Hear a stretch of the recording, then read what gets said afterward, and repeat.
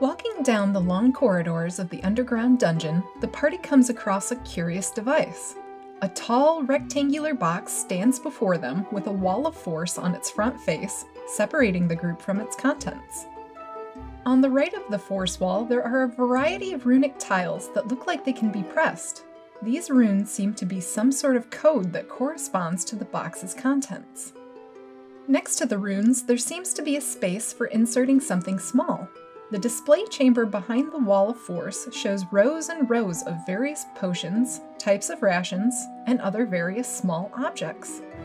At the bottom of the box, there's a small, swinging door that can be pushed open, but it's too low to reach any of the objects inside. After fiddling around with the device, the group's wizard finally deciphers the code and realizes that the runes correspond to the contents of the box in pairs. Additionally, they note that the side slot has the elemental symbol for gold on it. After dropping in a coin, the runes on the front light up. Congratulations! Your D&D party has just discovered a dungeon vending machine. The vending machine is a fun idea on its own. It's a way for your players to decide if they're going to trade any of their hard-earned gold for healing items or food they may be in need of. But this is just the start of what you can do with real-world items that you bring into D&D. The real world is littered with conveniences that use modern technology to make our lives better, and they're perfect examples of things that could be unique and cool items for your adventure. So, what other items might be a good fit? Well, there's tons to look at. Take video cameras, for instance. A good D&D parallel is the Arcane Eye. You can rig them up in your world like a security camera system that can be implemented in a heist session. Other items that are mundane to us can easily be converted too, like a printer, chainsaws, tape recorders, and e-readers. We might take them for granted, but these are amazing devices in a fantasy setting. So how do we make a real-world item usable in D&D? Well, typically with magic. If any device in our world would use electricity or computers, replace it with magic and complex spells. It may sound obvious now, but a printer converted into a magical item is different from a fantasy world version of the printing press. The levels of technology and ease of use are on a totally different scale. So what about the other items? Well, the e-reader is simply a book that contains more pages than it should. That's a magic item. But a chainsaw is a fairly simple machine. It could be something that dwarves invented to clear land and access resources. Seems up their alley for sure, but we're missing a piece here, and that piece is power.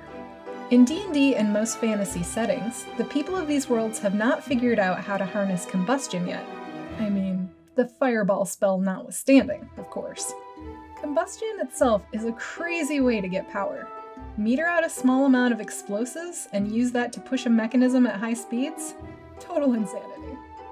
Instead of combustion power, technology in fantasy worlds likely relies on either magic, which is a good substitute for electricity, or clockwork mechanisms that are generally unrealistic. A clockwork chainsaw would be sufficiently scary, but it would not be common or cheap to construct.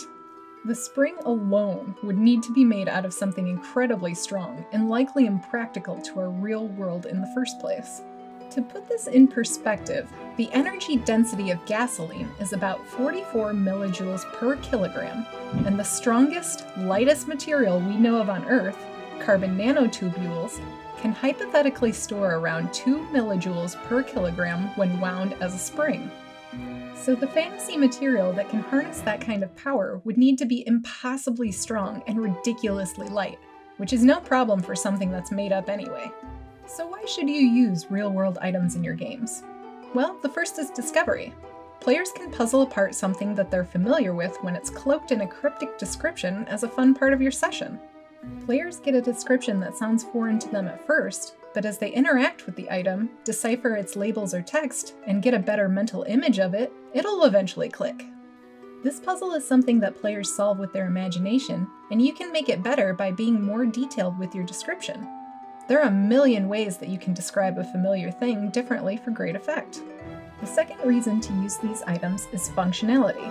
The reason these items work great is because they're modern wonders we take for granted. Players get to appreciate an everyday object as something more novel by playing with it in a world where it would be amazing and possibly anachronistic. Let's go back to the vending machine example. This item is weird.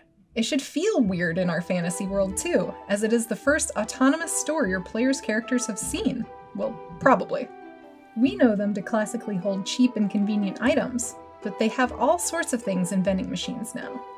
In D&D, these could function as a way to balance out party rewards. Sacrifice some gold to get something to help you go through a dungeon. It doesn't even need to require gold to function. What if it demanded blood? What if it was a given item, taken item?